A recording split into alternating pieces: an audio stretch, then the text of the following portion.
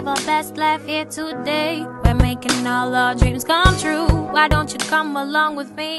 Cause I love spending time with you, with you, with you. Spending time with you. Hey dreamers, it's me, Tahrifa the Dreamer. Today's video we're talking about dealing with failure.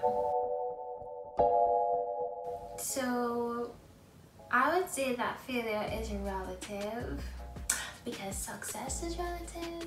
The definition for success is the accomplishment of an aim or purpose. And the definition for failure is the lack of success. Sometimes we set out to achieve things and we achieve them and sometimes we set out to achieve things and we don't and life turns out to be different in better ways sometimes. So I feel like success and failure are relative and it's unfair to assess our lives on that because we don't know nothing.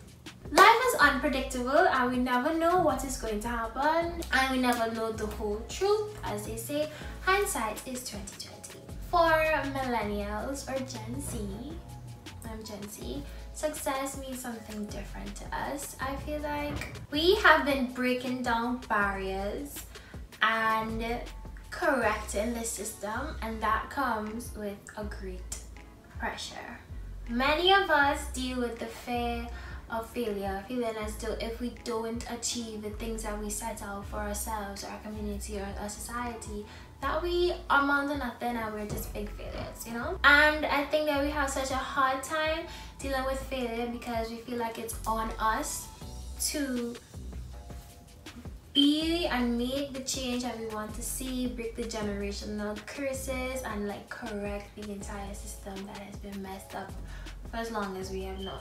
Now, people are way more aware of their power and they're taking their wealth and their lives into their own hands. It's been very evident that these later generations have been pushing the envelope like never before. And it feels like the age of entrepreneurship because everyone is an entrepreneur, everyone's like doing their stuff for themselves. Yeah, taking their wealth into their own hands. Especially my black people and I love to see it.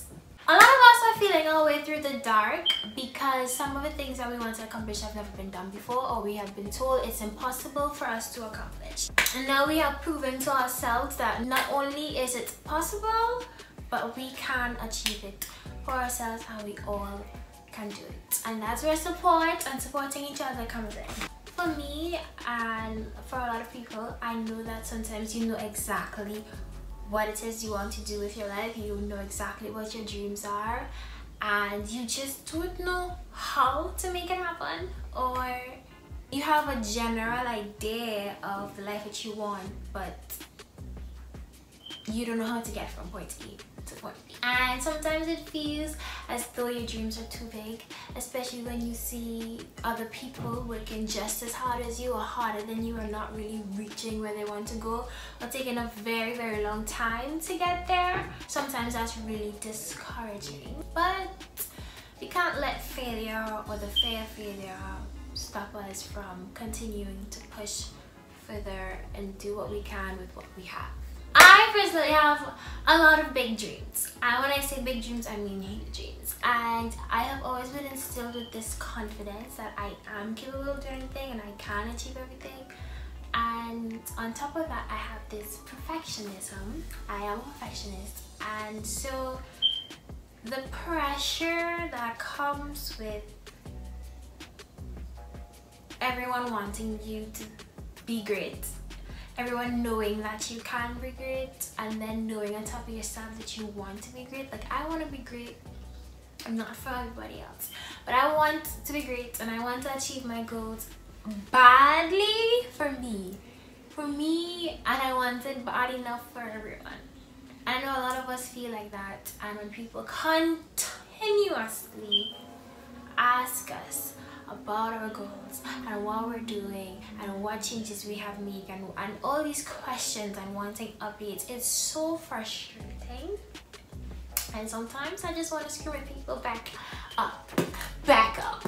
Because I don't know. I don't have the answers. I don't have the answers for myself and I can't take when people constantly asking me asking me asking me. Like how about we all get some popcorn and sit down and just see. See what happens happy and i am going to be successful you should just trust in whatever i choose to do is going to be the best thing for me. I kind of feel bad telling people to back up and to back up because i know it comes from a place of care. I know it's because they want what's best for me but sometimes you don't know what's best for a person. You just think you know what they're good at and what may be good for them but you should give people the space to figure it out on their own and support whatever it is that they do without pressuring people like ease people up if you don't know what i mean watch my things you need say part three i explain it to you but how I deal with all the stress and anxiety of wanting to be successful and the fear of failure is by meditating, by spending a lot of time by myself. Like when people are starting to pressure me, I take myself out of the situation. I spend a lot of time away from people that cause my anxiety. So that's a lot of unfollowing, blocking, and not answering people's phone calls. I try to surround my environment and set up my routine in ways that allow me to feel good and to focus on things that fill me up and fill me with joy and calm me down. And sometimes you need to take breaks. Just take breaks on people, take breaks on the things that you're stressing on, take breaks on working on your goals and stuff like that. But also reminding myself on my why like why I want the things that I want, why I want my life to change, why I'm doing the things that I'm doing, and uh, going over my goals, looking at my dream board, writing down my goals, imagining my goals, dreaming, like sleeping and dreaming about them. It's a very thin line between being motivated and being completely anxious. I have a very hard time separating the two. I'm working on letting go my need for control. Just letting things and people be and just seeing what happens and embracing what happens. Most importantly, caring less. Caring less about people, caring less about life, just caring less and doing whatever the hell I want to do. So when people ask me, what are you doing now? What are you doing with your life now? I'm living it. I'm living my life. And I don't care what you think about it. I don't care if it matches what you have dreamed for me. I'm doing what I need to do for me to be happy. Okay? And you should too. Currently, I'm not doing what my dream job is. I'm not getting paid to do the things that I want to do. And so we're not there yet in accomplishing our dream job and our dream life. But we're working and that's what I really dream of is dreaming, trying, failing, and starting over anyways. So that is all. Thank you for watching. If you like the video, give it a thumbs up. I make videos on Tuesdays and Saturdays, so click the bell next to the subscribe button for post notifications for more videos. That's all. Okay, bye!